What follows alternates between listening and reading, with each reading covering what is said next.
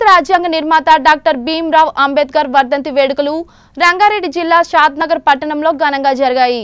ఈ సందర్భంగా అంబేద్కర్ విగ్రహానికి షాద్నగర్ కాంగ్రెస్ పార్టీ సీనియర్ నాయకుడు వీరపల్లి శంకర్ నివాళులర్పించారు. రాజ్యాంగ రచన చేసిన జాతి మరువదు నిన్ను అంబేద్కరా భరత జాతి మరువదు నిన్ను అంబేద్కరా. రాజ్యాంగ రచన చేసిన అంబేద్కరా. జాతి మరువదు నిన్ను అంబేద్కరా. భరత జాతి మరువదు నిన్ను అంబేద్కరా.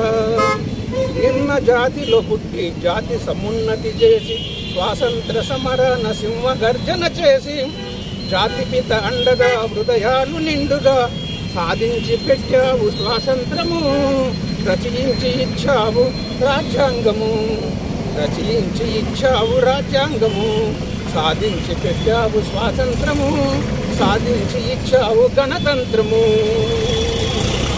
ముగ్గురు దేవతలు బుద్ధ భగవానుడు భక్త కబీరుడు జ్యోతిబా పూలే ముక్తి మార్గము రూప విద్య అభిమానము శీల సంపదలే శక్తి సంపద కొల్వ అంటరానితనమును నిర్వీర్యమును చేయ కర్మ సిద్ధాంతమును నిర్మూలనము చేయ మను ధర్మశాస్త్రాన్ని మంటల్లో గాల్తంగా రచయించి ఇచ్చావు రాజ్యాంగము. సాధించి పెట్టావు గణతంత్రము.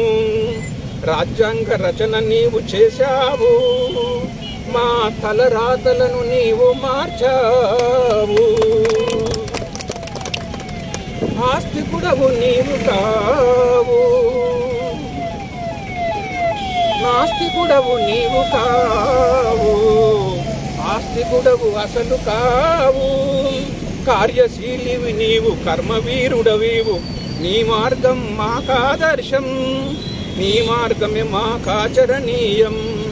నీ మార్గమే అధికారంలోకి వచ్చి వాళ్ళు ఇష్టానుసారంగా చేస్తున్నారు కాబట్టి చాలా మంది భారతదేశంలో నివసించే ప్రతి ఒక్కరు ఈరోజు ఇబ్బంది పడుతూ ఉన్నాం కాబట్టి అందరూ ఇలా మనం అందరం ఏకం కావాల్సిన సమయం ఆసన్నమైంది. దళిత గిరిజన మైనార్టీలు కూడా ఒక ఆలోచనకు రావాలి.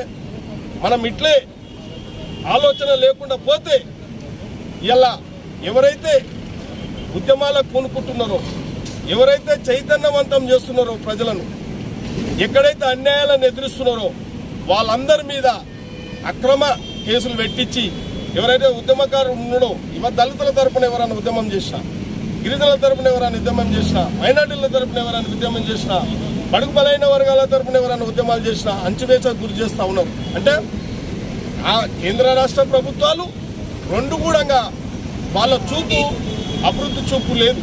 వాళ్ళ చూపు పేద ప్రజలు బాగుపడాలని లేదు. వాళ్ళ చూపు ఎవడు ఎదుగుతున్నాడు ఎవడు లీడర్ కావద్దు ఎవడు ప్రజలు చైతన్యవంతం చేయొద్దు. ఈ చట్టాల గురించి రాజ్యాంగం గురించి అంబేద్కర్ చేసిన రాజ్యాంగం గురించి కూడా ఎవరికి తెలియనియొద్దు ఎవరిని ఎవరికి తెలిస్తే మనకి ఎసరు పెడతారని చెప్పి ఒక భయాందోళనతోని మాయమాటలు చేసి ఇలా ఆ రోజు ప్రజాస్వామ్యబద్ధంగా అంటే ఈ దేశంలో ప్రజాస్వామ్య ప్రభుత్వాలు రావాలనే ఒక ఆశతోనే డాక్టర్ బిఆర్ అంబేద్కర్ గారికి అంబేద్కర్ గారు మన ఒక ఓటు హక్కు కల్పించడం జరిగింది. ఇలా ఎక్కడ చూసినా మనం మనం ప్రజ మన పాపులేషన్ ఎక్కువ మన స్ట్రెంత్ ఎక్కువ. అయినా మనల్ని అక్కడక్కడ ఇబ్బందులు పెట్టి వాళ్ళు రాజకీయ నాయకులుగా కొనసాగుతున్నారు. మనము వర్ధంతుల రోజు జయంతుల రోజునే డాక్టర్ బిఆర్ అంబేద్కర్ యొక్క ఆశయాలు కొనసాగిద్దాం. వాళ్ళ యొక్క సిద్ధాంతాలు పాటిద్దామని చెప్పి మనము ఊపిడి కంపెనీ ఉపన్యాసాలు ఇచ్చి మళ్ళీ ఎవరి ఇంటికాలు పోతా ఉన్నాం. దాన్ని ఆచరణలు పెడతలేము. దాన్ని ఖచ్చితంగా కొట్లాడతలేము. మనం కొట్లాడవలసిన అవసరం ఉంది.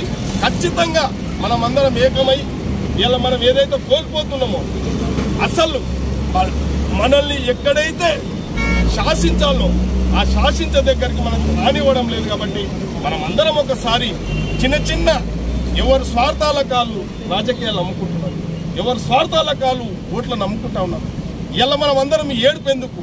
ఈ ఆందోళన ఎందుకు? ఈ ఆవేదన ఎందుకు? ఏ? ఇలా ఆయన కల్పించిన రాజ్యాంగం యొక్క హక్కు ఓటు హక్కు కాబట్టి ఓటు హక్కు అనేది ఒక సరియైన నాయకుడికి ఒక అయిన పార్టీకి మనం మేలు కోరే పార్టీలకు మీరు అందరూ చూస్తా ఉన్నారు. కాంగ్రెస్ పార్టీ ఉన్నప్పుడు ఎంతో కొంత భయపడింది. ఎస్సీలకు గిరిజనులకు మైనార్టీలకు భయపడి వాళ్ళు ఏదంటే అది చేసి ఇలా వాళ్ళు వాళ్ళ పరిస్థితి కాంగ్రెస్ పరిస్థితి కూడా ఎట్లా ఉందంటే మీ అందరు తెలిసిందే.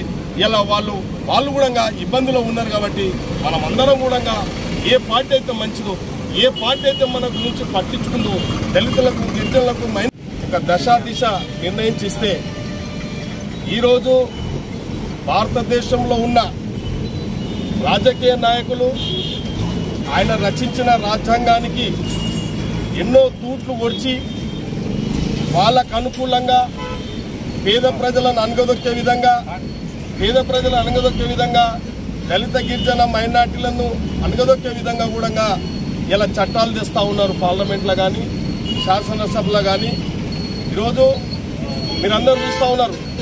భారతదేశాన్ని ఎవరు భారతదేశ ప్రజాస్వామ్య ప్రభుత్వాలని చెప్తా ఉన్నాం. ప్రజలను మోసం చేసి ప్రజలను వంచి అధికారంలోకి వచ్చి ఈ దేశాన్ని రెండు శాతం మూడు శాతం ఉన్న అగ్రవర్ణాలే ఈ దేశాన్ని పరిపాలిస్తున్నాయి